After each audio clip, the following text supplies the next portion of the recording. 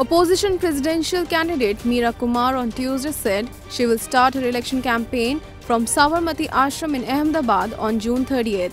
Kumar briefing media here in New Delhi a day ahead of filling her nomination papers said, मैं अपने चुनाव प्रचार के लिए सबसे पहले साबरमती आश्रम जाऊँगी ये तो सभी जानते हैं साबरमती का कितना महत्व है हमारे देश में साबरमती के संत वहाँ से शुरू करेंगे। हम लोगों की गहरी आस्था है उनमें।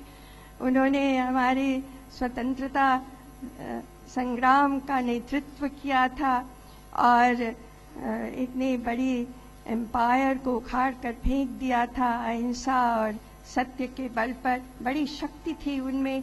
वहाँ जाने से ही शक्ति मिल जाती है। इसलिए मैं वहाँ जा रही हूँ Asked about Bihar Chief Minister Nitish Kumar's stance and whether she will speak to him for his support, Kumar said, Nitish Kumar की आपने बात की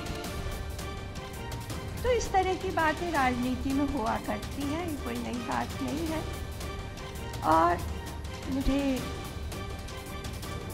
इसके बारे में क्या करना है उचित समय पर मैं उसका निर्णय Kumar will visit all the states and meet the MLAs there as part of her campaign.